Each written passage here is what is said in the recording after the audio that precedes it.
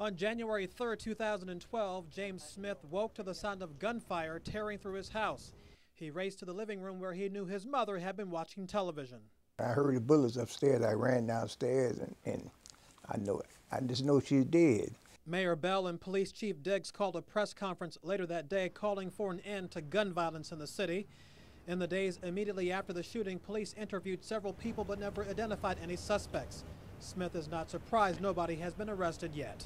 No, it hasn't surprised me. I, I knew it was going to be a hard case because they shot in the window and killed her and then ran down the street late at night. So I know it's going to be it's going to be hard.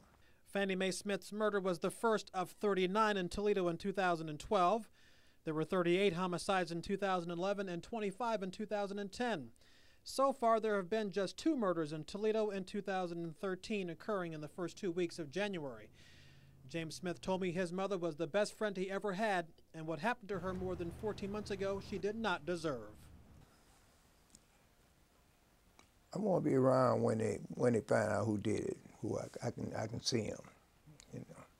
Yeah, I can see him. Some justice be done, mm -hmm. you know. Because my mother then she she she was supposed to get that.